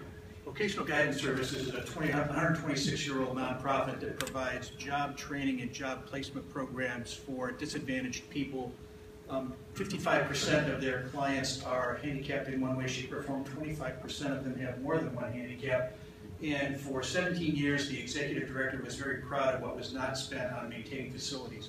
Um, and, and that was great for the bottom line, but really bad uh, when he finally retired. And uh, properties committee was finally formed, and they started a facility master plan, built a new training center in 2010, did a center. The, the original facility master plan contemplated a four and a half million dollar renovation of the envelope of the existing 125,000 square foot building, uh, which was built in four pieces in the 40s, 50s, and 60s. Um, and so the challenge was uh, to raise that additional money, which wasn't falling off the uh, bottom part of the tree. And so an assessment was done in 2010 because there were some water penetration issues that were getting serious, um, which resulted in a fundraising initiative. And, and so the little white mass here on the bottom shows actually the um, roof as finished. Um, and the only reason I put this here is I wanted you to see that this is a 40,000 square foot roof on a 125,000 square foot building with a piece from the 40s, two pieces from the 50s, and a piece from the 60s. Um, poured concrete structures, some of them sloped, some of them flat. Um, and the existing roof areas had, generally speaking, failed. But I also wanted you to notice in this slide, there was an awful lot of rooftop equipment here for, with the existing gas piping to rooftop units. There were combination units, cooling towers, and major air handling units, all of which uh, required the maintenance contractors to have regular access to these. And so that had an impact on um, insulation and what roof replacement system was in fact selected. Um, I wanted you to understand, did I shut that off? Sorry. Um, this was the roof before uh, the project, uh, the roof replacement project was undertaken. And I made a little section just to show you that there were really two roofs here, neither one of them very good. Uh, one of them had, um, a vapor barrier uh, of tar, um, and an inch of perlite insulation, and then on top of that was placed another layer of tar and another layer of rigid insulation covered with a forty-five mil, uh, forty-five mil EPDM membrane with a gravel ballast. And that, the movement of that and the control joints over time, uh, caused a lot of failures and expansions and control joints and pulling away from the edge, and we'll show you some photos. So that's what we started with. The roof assessment was done by Dick Lordhoff and Howard Flair, and it pointed out all of the functional problems and areas. Um, and their assessment was really quite comprehensive. I'm just gonna show you a couple of pieces, because I only have fifteen minutes.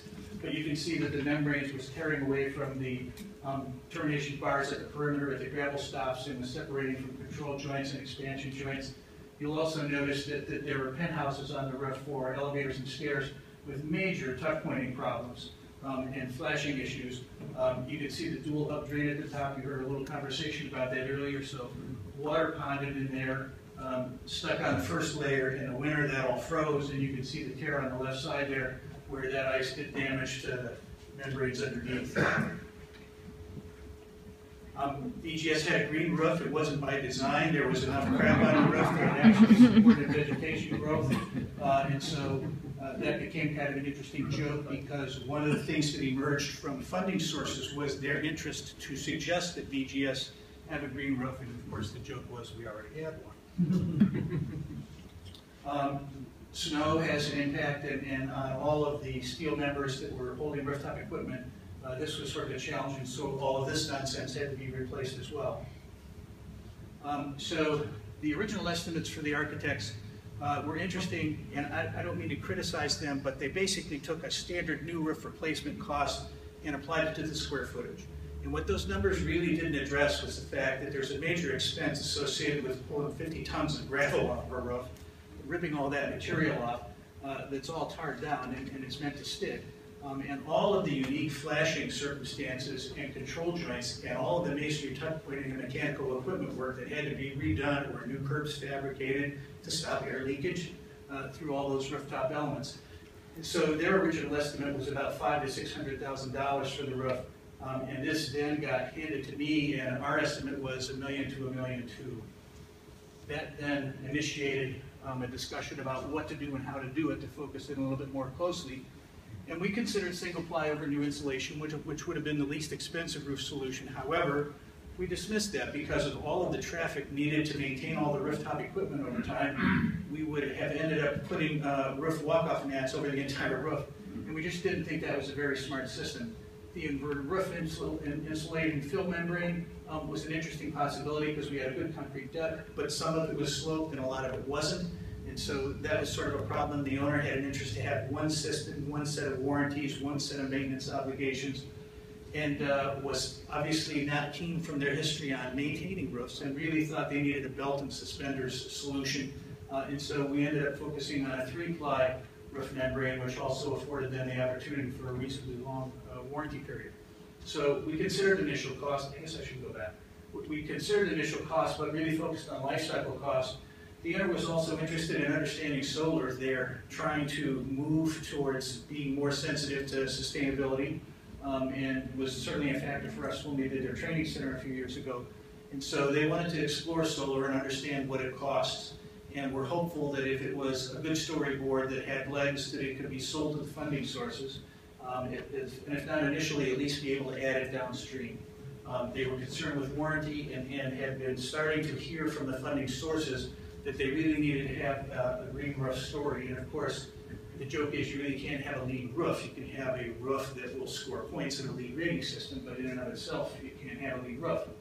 Um, so we evaluated the solar systems and looked at both the conventional frame rooftop photovoltaic units as well as these new adhered mat systems um, and, and put our mechanical engineers folks through the mechanics of figuring out exactly what all that math was. And they boiled it down and looked at what we would save and, and what the initial costs were. And the, you can see the initial costs um, were interesting, but also pushed some of the roof costs and maintenance costs up a couple hundred thousand dollars as well. And so uh, what we ended up concluding was at some point in the future, the adhered membrane mats might in fact make sense, again, because of the challenge associated with all the rooftop equipment and the paths needed to maintain that equipment. And so we couldn't exactly fill the roof with 40,000 square feet of solar panels. So the inter, the inter insulation systems were evaluated, and, and uh, when this was done five years ago, the idea of, uh, I appreciate John's comments earlier, the idea of mineral wool was not a, a real common thought in the marketplace, but um, we liked it because it was natural and it was green, and uh, it didn't have all of the embedded um, energy expenses associated with the uh, byproducts of uh, producing the uh, standard XPS and EPS rigid insulation materials, um, which were getting knocked at the time for their global warming potential, and it's still an issue. And so we looked at the differences between uh, the expanded polystyrene and the extruded polystyrene. We looked at spray foam um, as well and uh, looked at calculating all of those things and thought that if we could afford the, the slight additional cost bump, um, that the mineral wool insulation would be a better choice. And so we did our and it's got an excellent insulating value. And so um, our synthesis was to propose uh, a system where, because of the slope of the roof, um, we would go from a low of two and a half to a 12 of high and a half, 12 and a half to get the uh, insulation value. Um, this is build, these buildings are basically either precast concrete with no insulation on them whatsoever for the exterior wall, or concrete block with an inch and a half of stucco and plaster on the inside. So there's basically no insulation on the walls of this building at all, these buildings. Um, and so the roof was really an opportunity to really start to attack energy expenses and do a better job here. So um, that was our strategy.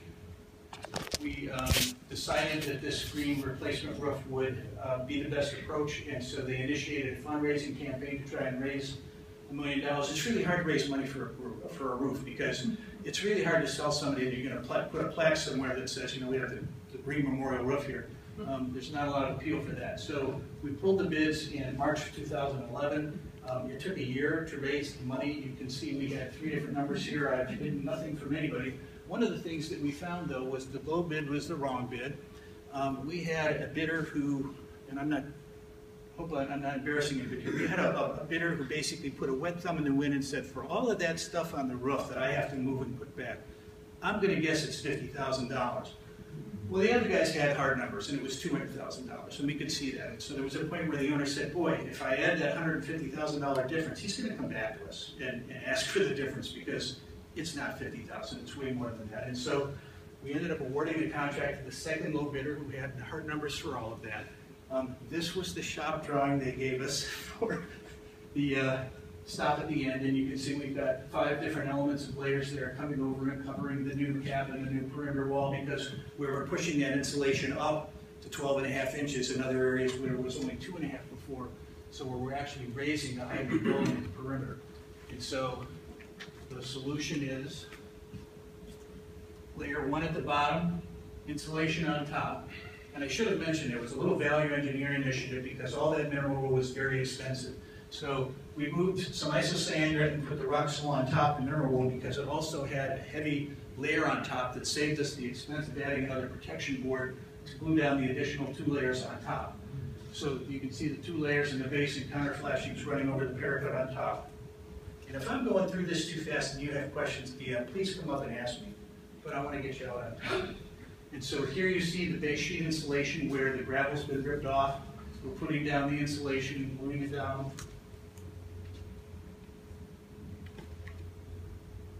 Sealing the curbs, setting up the expansion joints, that's before we tore it off. Starting to do the masonry repairs, putting down the first uh, of the plies on top of the insulation. And then the third ply. And here you get an idea of all that rooftop equipment looks like. Uh, and then at the end, flashing and caulking. And this was, just as a side note, kind of a colorful experience. Because of the one-year gap between the time we took the bids and the time we awarded the contract and bid the project, the low bidder's in-house sheet metal shop was disbanded. And so they subcontracted this work to somebody that they hadn't worked with before. And their work was not good, and it all had to be redone. So we had a little bit of a colorful punch list at the end of the project, but everything worked out okay. Um, the results, prior to the roof replacement, the average annual gas bills were forty thousand dollars over uh, uh, a year for a three-year average. and afterwards they were down by about ten thousand dollars, which is exactly what the engineer projected. So the result of all this was a reduction in energy expenses of uh, twenty-eight percent. And that's the bad stuff. And I wanted to show you the slides of the good stuff, but I couldn't find it, so I'm apologize. Questions? One minute. No? Come on, no questions for Bill? How does the roof warranty work, uh, with two different insulation types? Was there, you know, do you have any issues with that? No, Manufacturers? so- somewhat like you, you heard uh, from John, uh, you know, a roof warranty is basically a bond. And so this is a thirty-year roof because the the roofing contractor bought a thirty-year bond for the roof and assigned it to the owner. So that's sort of how they work anymore. Each individual product is represented and warranted, and then the bond is sort of like that overlay of insurance. It's like the traveler's umbrella on top of the individual manufacturer's individual product warranties.